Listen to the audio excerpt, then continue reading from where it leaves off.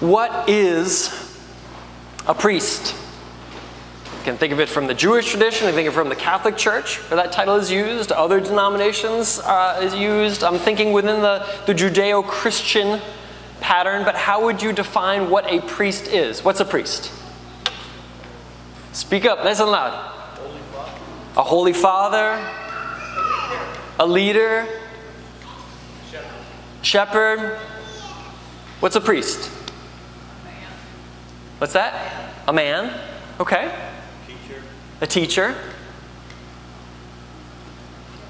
Shepherd, yeah. A representative for God. That's cool. Inter- intercessor. An intercessor. Good. Cool. Yep. What's a priest? All right, if that's the definition we're starting with, are you a priest? Do all those things fit? Mom said man. How many women? Okay. Priest. Priest. Priest. Still priests. Still pri- Are you a priest? Intercessor, teacher, shepherd, leader. I don't know. That's what I want to dig into. The, the definitions that we have and the concept of what that means will determine whether we think that that's us or not. I hope to make the case clearly from Scripture that every one of us is a priest, but it's going to require us to deconstruct a little bit what you think a priest is and what a priest does. Otherwise, you will never think you are a priest and you will never act like a priest. And then, therefore, you will not fulfill the fact that God calls you to be a priest. So, this is a deconstruction and a reconstruction. Um, am I a priest? Yes. Priest. Okay, I'm a priest. Are you the same kind of priest as me?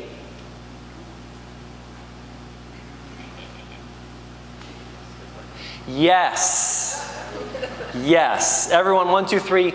Yes. Because if you don't believe that, then you are selling yourself short on what the Holy Spirit will do for you. You're going to elevate me past my point of competence, and you will refer to me things that you could be doing in the kingdom. You will delegate, you will defer, you will settle, you won't see, you won't experience, you won't be. I am not different from you. I serve in a role in a body. I help to teach, I help to lead. I am not the only teacher, I am not the only leader, I am one of. And I'm just a Christian. And God doesn't only use me as teacher, so it means I should never show hospitality or I should never do administration or I should never heal or I should never. No, all those things are asked of me, but aren't all those things asked of you? So the same. We- We help each other, and some are called to certain like roles within the body as helping. If there's skill there or if there's gifting, God uses us. The definition of priest is Christian. This means we need to break down the clergy and laity barriers. By the way, it's not a thing. Not anymore. And so, the way I'd like to do that is I'd like to look at eight roles that the priests had in the Old Testament. I'm just simply going to put them on the wall, read them quickly to you, and then we're going to think about them. And we're going to see that Jesus, in every one of these things, is the ultimate priest, the beautiful, perfect, perfect high priest. And then immediately you're going to be able to see, but yeah, this is supposed to be us too. And all of this is meant to be an experimental faith type of sermon, which is why I said that at the beginning. I hope that you will go out and I will go out this week trying to fulfill the role of priests in the world. Because that's what we're called to do. It's our title, it's our position, it's our function, it's our joy, it's our power, it's our love. It's, it's, it's what Jesus is and what he calls us to be. So, when we're looking at a little bit of context here, when we're looking at the priests in the Old Testament, there was Aaron, who was the older brother of Moses. They're both of, both of the tribe of Levi. And Aaron and his descendants were the Levites. So, all of the Levites had priestly functions and roles, and within that, there were specific people that act as priests the teacher, the high priest. So, there were specific positions, but the Levites as a whole had this priestly function. Remember the book of Leviticus, Old Testament? The Levites book. It's instructions about how to go about being a priest. So all of these scriptures I'm going to pull on, with maybe one exception, are from Exodus, are from Leviticus, are from Deuteronomy, describing what these priests were. But before I read to you something from 1500 years ago, let's read from, let's say, I would say 3,500 years ago. Let's read from Jesus's time from the book of Hebrews, about 2,000 years ago, and put it into perspective. Hebrews 10, 1 to 2, and then I'm going to skip a little bit because he elaborates, the author, in 12 through 16, say this.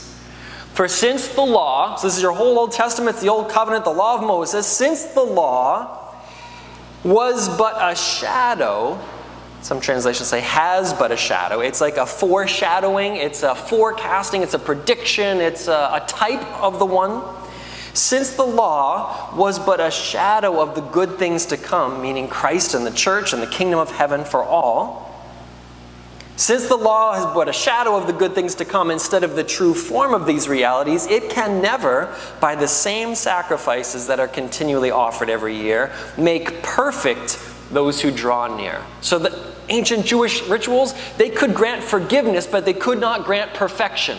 Which one is required to get into heaven? perfection. And since none of us can reach perfection on our own, that's why we all need Jesus. His perfection becomes ours. So there was forgiveness granted, but it did not make perfect, and it did not finish it once and for all. Otherwise, the author writes, would they not have ceased to be offered all these sacrifices, since the worshippers, having once been cleansed, would no longer have any consciousness of sin? If you did it and it worked, isn't it done? but no, is a temporary, a forecast, a shadow of what to come. So skipping now to verse 12. But when Christ had offered for all time a single sacrifice for sins, he sat down at the right hand of God, waiting from that time until his enemies should be made a footstool for his feet. For by a single offering, he has perfected for all time those who are being sanctified, being made into God's people, being purified. And the Holy Spirit also bears witness to us. So, this is exactly my sermon in a nutshell. The Old Testament priest, Christ once for all, and us as an extension of Jesus. Holy Spirit bears witness to us. For after saying, This is the covenant that I will make with them after those days, declares the Lord, the Holy Spirit said, I will put my laws on their hearts and write them on their minds. And the book of Hebrews goes on. But that's where we live now. We have the Holy Spirit in us, so we, we think and breathe and feel. We become instinctively godly, and more and more so over time, versus just ritualistically godly. It's implanted versus practiced. The practice now comes from the implanted nature of God within us through the Holy Spirit, which is given by Christ because he rose from the dead and poured out his Spirit in all people. So, if you can follow that train of thought, that's the context for everything that we're talking about. And here are the eight things that I want us to know. This is God's definition of priesthood because these are God's laws given to his priests. You are God's priests. Therefore, there's going to be an application point in all these things for you and for me.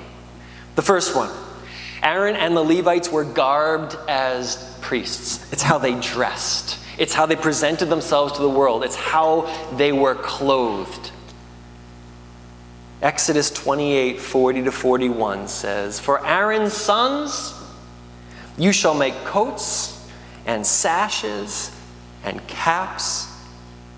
And this is one of the more beautiful verses I've come across in a long time. God says, You shall make them for glory and beauty.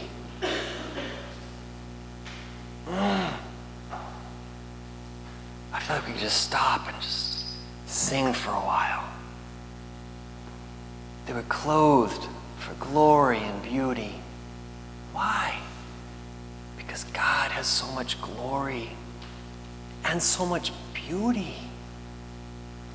Beauty is God's invention. To do things beautifully, to create beauty, being creative. to recognize God's beauty, not just His justice or His permission or His grace, His beauty. This is how the priests were clothed. And then you shall put these things on Aaron, your brother. Obviously, God is talking to Moses. This is instructive. And on his sons with him, and then you shall anoint them. So there's oil on the head. You shall ordain them. You are commissioned. Go in this priestly role, and you shall consecrate them. Be pure, be sanctified. You are sent that they may serve me as priests. Think about the glory and beauty of God for a minute. Come on. Come on. That's so profound. It's so good. Not just what does God say to you, not just what does God mean, not just what can I learn about Him, not just what do I need from God, not just functional relationship.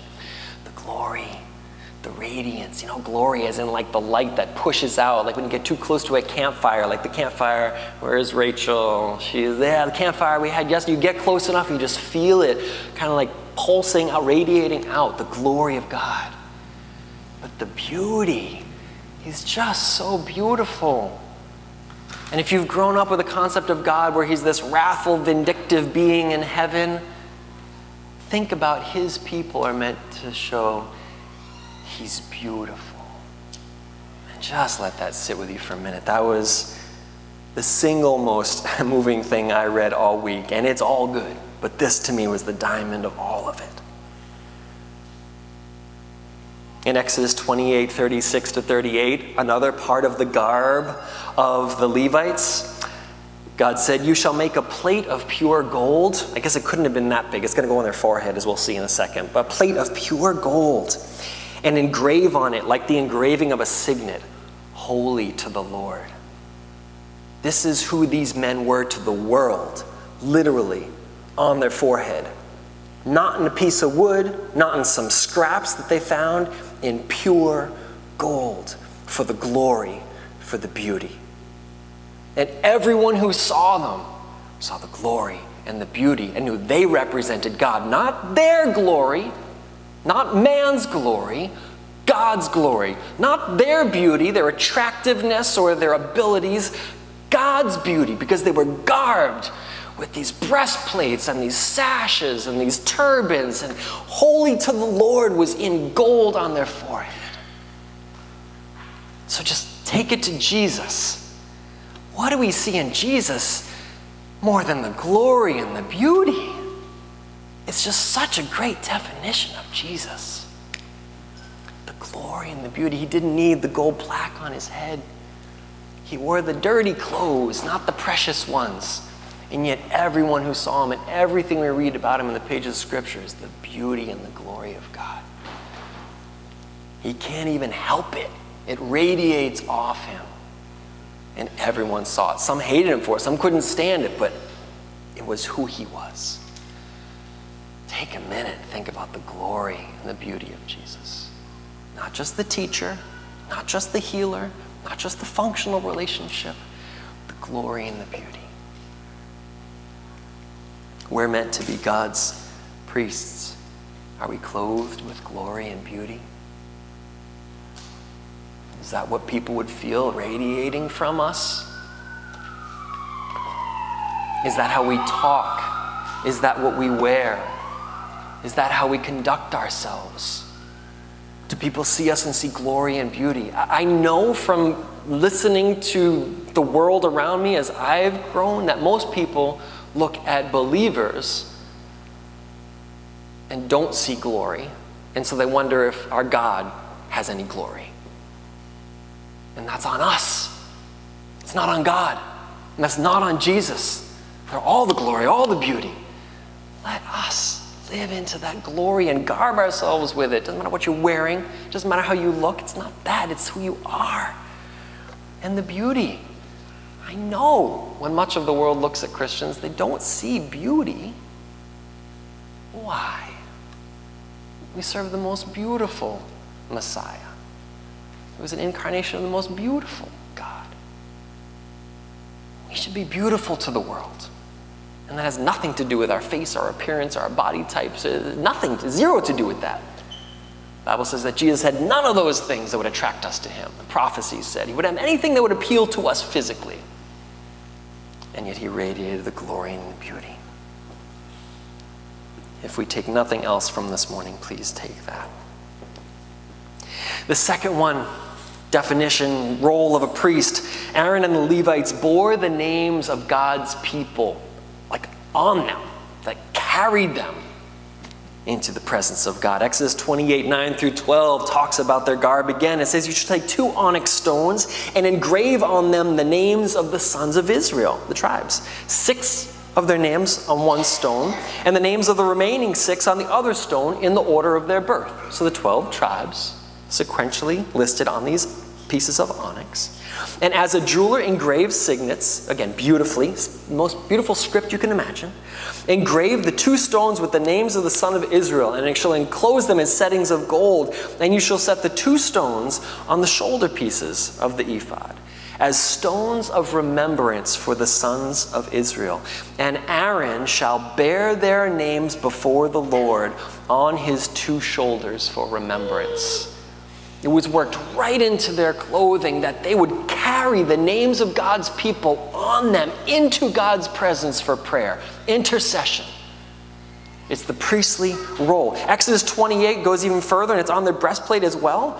29 and 30 say, So Aaron shall bear the names of the sons of Israel in the breastpiece of judgment on his heart when he goes into the holy place to bring them to regular remembrance before the Lord. And in the breastpiece of judgment, you shall put the Urim and the Thummim, and they shall be on Aaron's heart when he goes in before the Lord. And thus Aaron shall bear the judgment of the people of Israel on his heart before the Lord regularly. The role of the priest of God is to bear the people of God into God's presence to intercede on their behalf and pray for them. He must do this. This is Jesus to a T. Constantly, it says regularly, right? Constantly taking people into the presence of God, getting away to pray. This is what a priest does so centrally, so importantly. It's meant to be us as well. Do you, do I, do we carry the names of God's people into God's presence? Who's on your prayer list? Do you have a prayer list? Do you pray your prayer list? I could say yes or no to all three of those questions at different times in my life. I don't even have a prayer list at a time. Another time I've got a prayer list, I have not used that thing. Another time I have it and I use it and it's great. Prayer list aside, do you step into God's presence on behalf of other people and say, I'm here to advocate? This brother and this sister needs healing. This marriage needs saving. These children need helping. This addiction needs breaking. This person needs love. What do they need? Carry it in. That's what a priest does. It's what Jesus did. We must. If you're going to be a priest this way, this would be a great way to enter into that role. Bear the name of God's people into his presence for prayer. A third one just talks about the completeness of this. This is all of life hands, mouth, seeing, hearing. Uh, you'll see. Exodus 29 19 through 20 says, You shall take the other ram, and Aaron and his sons shall lay their hands on the head of this ram, and you shall kill the ram and take part of its blood and put it on the tip of the right ear of Aaron, and on the tip of the right ears of his sons, and on the thumbs of their right hands and on the great toes of their right feet. This was not just a teacher. This was a priest dedicated that everything he might hear from the Lord and from people would be consecrated, and everything he would put his hand to would be done as a hand of God, a minister of God, and that everywhere his feet took him would be consecrated to the task. This isn't a seminary position, this is a lifestyle, it's whole. It's complete. They were consecrated completely. And blood, we know, is the thing that forgives sin. So they were anointed, they were set aside in all these ways. Uh, there was a Greek and Jewish philosopher called Philo who lived around between 20 and 50 AD, somewhere in that range. And he wrote on the life of Moses. And he speaks to this specific uh, covenanting. He says this passage signifies that the priest, called the prefect man, must be pure in every word and every action as a whole. For it is the hearing that judges the words, the hands that are symbols of action, and the foot that symbolizes the way a person walks through life. This is what a priest was, how he became. This is Jesus. Think of the people he listened to. He listened to the people that hated him. He listened to children. He listened to the social outcasts. He listened to the rich. He listened to the educated. He, he was there. He listened and then heard. This was our talk from last week. He was so good at that. But also his hands, he touched the people with leprosy without being afraid that it was going to get him.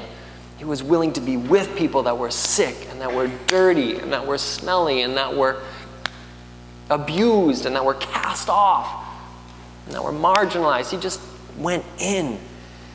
And he didn't wait for people to come to him, he went to them. So if you're going to be a priest this week, are you listening to both God and to others and to yourself? What are your hands going to do this week as a way to show God's love? Where will your feet take you? Or will you sit at home being like, God's not bringing me anybody to serve? God hasn't brought me a single person to help. That's not how Jesus did the priestly role. It's not how the priests did the priestly role. Be a priest. Consecrate your life fully. The fourth thing Aaron and the Levites, they treated and ministered to the sick. I love this. I hope that we all take part in this. Leviticus 13, 1 through 5, the Lord spoke to Moses and Aaron, saying, When a person has on the skin of his body a swelling, or an eruption, or a spot, and it turns into a case of leprous disease on the skin of his body, then he shall be brought to Aaron, the priest, or to one of his sons, the priest, and the priest shall examine the diseased area on the skin of his body.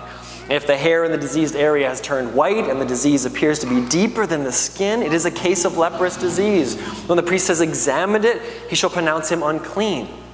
But if the spot is white in the skin of his body, appears no deeper than the skin, the hair is not turned white, the priest shall shut up the diseased person for seven days, and then the priest shall examine him on the seventh day. The priests were the doctors as well as the teachers. I hope this breaks down some kind of paradigm for you for what it means to be a pastor, for what it means to be a Christian, for what it means to be a doctor, even. These are not diverging roles. God cares not just about your heart and your mind, He cares about your body.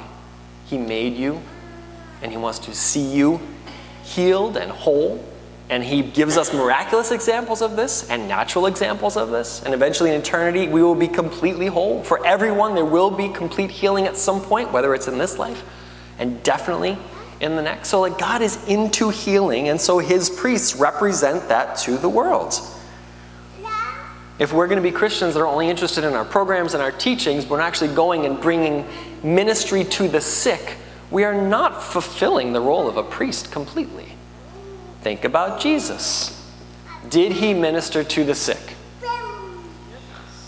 All the time. It was like one of his key three things. He taught about the kingdom, he healed the sick, and he cast out demons, right? That's like the big three. He's got his job description. If you're going to be Jesus, you got to do these three things, right? He, so, are you Christians? Do you follow Christ? So, what's that second one look like for you? How are you ministering to the sick? Do you pray for healing? Do you bring food, care in that way? Do you listen? Do you take people to hospital visits if they can't get there? Do you what can we do to minister to the sick? The priest did, Jesus did, and Jesus does still. Jesus is still with us. Jesus is not past tense. He still ministers to the sick, and we are called to do the same. This can be seen spiritually as well, but this is not meant to be an allegory. That's just an actual sickness. But certainly, as priests, we're called to diagnose and monitor spiritual and emotional sickness just as much as physical. That's my extension of this principle. But let's not make it overly spiritualized. Let's just recognize some people need a doctor, and some people need medicine, and some people need a loving hand, and some people need prayers for healing. That's us. That's us. Who are we going to delegate that to? Nobody. The priests do that. Jesus is the priest. We're the priests. The fifth one Aaron and the Levites entered directly into God's presence without dying. That's good, so they could enter in another day, because they didn't die that time they went in. But God had to specifically give instructions for how to purify themselves before they went into his presence, because the presence of God is all consuming, is all powerful. And so I like the fact that they had access to God, but had to do it through consecration, purification, and then entering in. Obviously, is what Jesus did. We have the privilege of this as well. Exodus 30, 20, and 21. When these priests go into the tent of meeting, or when they come near the altar to minister, burn a food offering to the Lord. To burn a food offering to the Lord, they shall wash with water so that they might not die. They shall wash their hands and their feet so that they might not die. this will be a statute forever to them, even to him and to his offspring throughout their generations. I, I, wondered whether to like include this or not, but it just struck me. This is like the foundation of all of it. You and I cannot talk to God or come into his presence without dying because of how mighty he is and how divine he is and how small we are. Like, that's the basis for everything. It's because he's so mighty and divine that we needed priests to understand and explain forgiveness, and we needed Jesus to, Jesus to atone for us. We needed him to tear the curtain to give us access to God. So when we pray now, we can pray directly to God and not die. That's just a beautiful, powerful, and very foundational truth that all these other things are kind of built off of. Don't take for granted that you can pray to God do not take for granted that you can come into his presence. You don't deserve to talk to God face to face. I don't deserve to come into God's presence. And if I did it on my own, I would die. That's the right way to think about God. We're getting close to his glory, we're getting close to his holiness when we start thinking like that. But we can. So just let it build that gratitude and appreciation for what it means that we can you can't just go up to a president of the United States or to uh, an important person who's under armed guard and just push your way through and say what you want. They're protected. God is protected by his glory. Nothing will ever get to him, nothing can attack him. He will not lose. He is so almighty that without forgiveness and purity, in this case it was washing and purification through Jesus on the cross, he tore the, the curtain in the temple and invites us to come before God. I'm going to read that passage a little bit later. You can come into God's presence. You can. And you won't die. And that should really blow our minds instead of being something that we just take for granted. Just a couple more here as we think through what it means to be a priest. I hope you're thinking, how will I do this? How will I come into God's presence? How can I minister to the sick? Like all these things, please be tracking, be applying. Uh, Aaron and the Levites had authority to sacrifice for sins. They could forgive someone their sins by doing the sacrifice. They had authority to forgive sins. They knew it was God's authority. They were the ministers, but they did it. They were the ones who did it. Leviticus 16, 16 15 says, uh, Then he shall kill the goat of the sin offering, that is for the people, bring its blood inside the veil. So, see, there's still a veil set up here. This is just for the priests at this time, But until Jesus makes it for all Christians. Bring its blood inside the veil and do with its blood as he did with the blood of the bull, sprinkling it over the mercy seat in front of the mercy seat. God's presence. Then he shall make atonement for the holy place because of the uncleannesses of the people of Israel, because of their transgressions, all their sins. And so he shall do for the tent of meeting, which dwells with them in the midst of their uncleanness. The Levites atoned for the sins of others. This is what a priest does. Jesus atoned for the sins of the world by dying on the cross. His blood, all sins, forever. But do you remember this in John 20, 21 about us? What Jesus said? Jesus said to his disciples, Peace be with you. As the Father has sent me, even so I am sending you. And when he had said this, he breathed on them. You know, like, receive the Spirit. I breathe into you this anointment, anointing, inspiration. He said, receive the Holy Spirit. And if you forgive the sins of any, they are forgiven them. If you withhold forgiveness from any, it is withheld. You speak on behalf of God. We as Christians have authority to forgive sins because of the blood of Christ and Him imparting. So it's His sacrifice. We don't have the ability to save someone's soul, but we have the ability to speak God's forgiveness to a repentant heart because we minister on behalf of the high priest. We're like the Levites, God's like Aaron. We speak on behalf of him. Have you ever said to someone, I forgive you of your sins? Are you allowed to say that? Where's the Christian rule book? I don't know what page that's on. That sounds sacrilegious. Would you feel more comfortable saying, through the blood of Christ, your sins are forgiven? Might be a more accurate way to say it. Have you ever said that? Probably not, because we reserve that for the pastors and the priests and the clergy. That's a clergy job, right? Or that's a Jesus job. Nope. Same. That's your job. Go out and forgive people of their sins this week. Not because you can like bibbity bobbity boo and like give them a spell to make it better, but because you'll run into people that are burdened by their sin and can't wait to get it off of them. And you speak on behalf of the high priest that can get it off of them. So say so. Do it. Would you like to pray right now and have all those sins forgiven? The person who wants that will beg for that. Yes, please, right now. Awesome. As a priest of God, I'm qualified, equipped, anointed, consecrated, ordained to go and do that. Been breathed out the Holy Spirit to bring Christ's forgiveness. Again, it's not ours any more than it was the Levites, but they did it because they recognized their role. We need to be the forgivers in the world, the grace speakers, the healers, the atonement of Christ working its way into individual conversations and individual homes and apartments and bars and alleys and sidewalks and workplaces. Bring Christ's forgiveness. Don't just get someone to church so the pastor can do it. You are sent. Seven, Aaron and the Levites taught God's truth to God's people. This is just one verse, very simple. Deuteronomy 33:10. They, meaning the Levites, shall teach Jacob your rules and Israel your law. Part of the priestly job is just teach, teach God's word.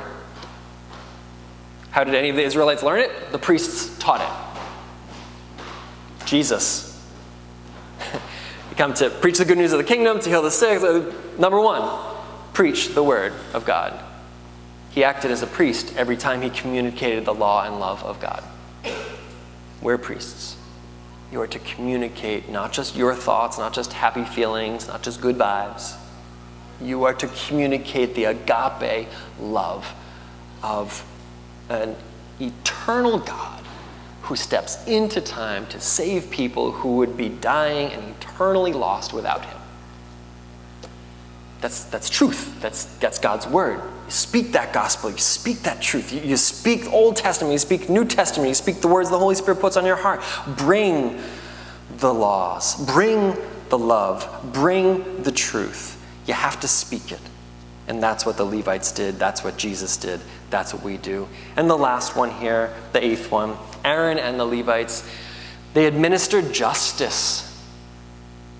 They were also the judges during their time. Stuff was brought to them. What's right? What's wrong? And they advocated for justice. You're going to see this is Jesus. You think about what this means for you. But this is how it was stated in Deuteronomy 17 8. Instructions to the people. If any case arises requiring decision between one kind of homicide or another, one kind of legal right and another, one kind of assault and another. Any case within your towns that is too difficult for you, then you shall arise and go up to the place that the Lord your God will choose. And you shall come to the Levitical priests and to the judge who is in office in those days, and you shall consult them, and they shall declare to you the decision. Then you shall do according to what they declare to you from that place that the Lord will choose. And you shall be careful to do according to all that they direct you. So the priest spoke on behalf of God to help make decisions for what's right, what's wrong, how do we do things when things are difficult, when there's conflict. Like the priests were involved in administering justice in, in like Solomon's role, kind of like what's what's right, how do I know what God is saying? And then what they heard from God, they communicated to the people, and that gave people wisdom to know how to handle their situations. This is Jesus. He comes into a society that had this really big hierarchy. There were the pretty people, and then there were the street people, and everything in between. And he's like, that's unjust. That's not God's plan.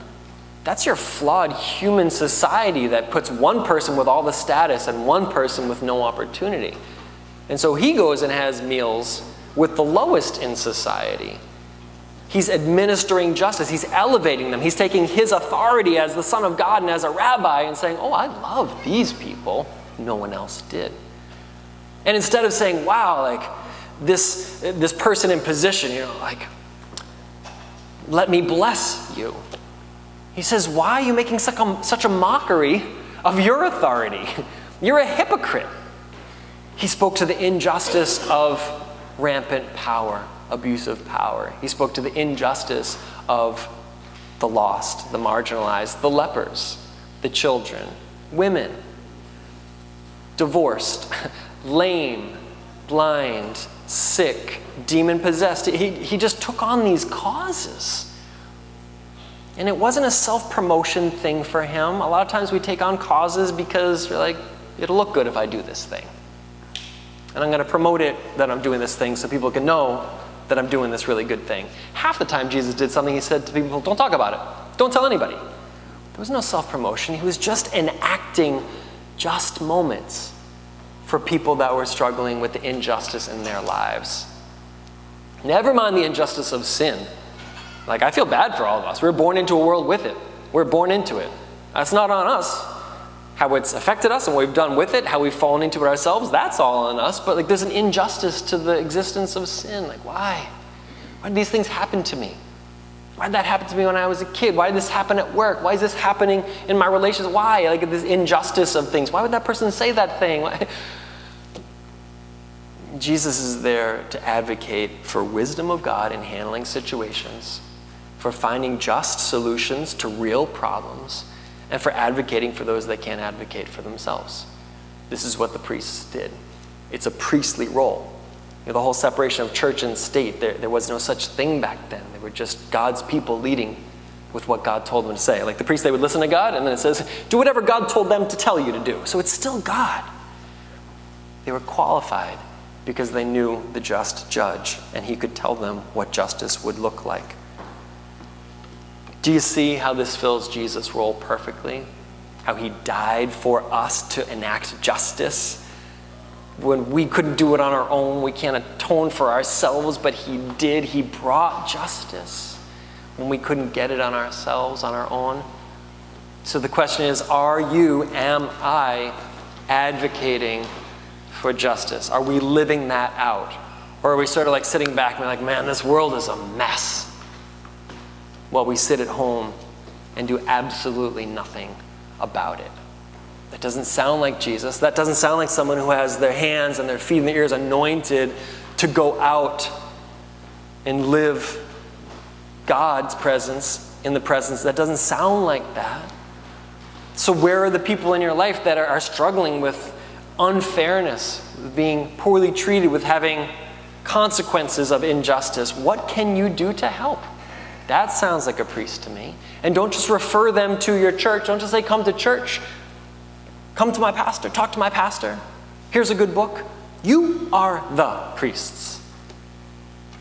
Minister to them. Help them find and seek justice. You represent a just God. That's your job. You're his priest. These are the eight roles that I saw this week. I'm sure there's a million more. There's entirely whole books, Exodus, Leviticus, Deuteronomy, set aside just to the tasks of the priests and the laws of God. I would love to encourage you to read more into those, thinking not like, wow, how old fashioned this is, how archaic. Are we sacrificing bulls and goats again? Look into it as acts of worship. Look into it for what it can show you about God the Father, look into what it meant to be a priest of God and identify with that. So, to bring it all to a, a close, let's just remember Jesus was and is clothed with glory and beauty. He bore our names in prayer. He still bears our names, all of our names in prayer before God. Jesus was and is completely consecrated and holy in every aspect of his existence. Jesus ministered to the sick and he still ministers to the sick. Jesus entered into God's presence daily. He stands in God's presence directly. Jesus sacrificed himself to provide forgiveness. He still grants forgiveness. He taught God's word. He still teaches God's word to everyone. And he administered and fought for justice, and he still fights for justice and against evil. So, what does that mean for us? Are we clothed with glory and beauty? Do we bear people's names in prayer? Are we consecrated and holy in every aspect of our lives? Are we ministering to the sick? Are we entering into God's presence continually? Are we using our authority to bring forgiveness, grant forgiveness? Are we teaching God's word? And are we promoting justice and denouncing evil? If you're willing to experiment with even one or 1% of one of those things this week, it's a beginning of you walking into your role and growing into your role as a priest of God. Tracy, maybe you could put up that one last scripture, 1 Peter 2 9, where it says, We are a chosen race, a royal priesthood, a holy nation. This is who we are. So if you are an apprentice of Jesus, I pray that you will bear it well. If you're not, but you're looking for help with the unjust aspects of your life, ask a Christian to help you. Maybe that'll be the nudge that Christian needs to do the thing that they're supposed to be doing. If you're not a follower of Jesus, but you need to be prayed for, ask a Christian to pray for you. Not just a pastor Christian, but a Christian Christian, an everybody Christian. Because that's what they're supposed to be doing for you, and they won't know unless you say something. So say something. Ask for prayer.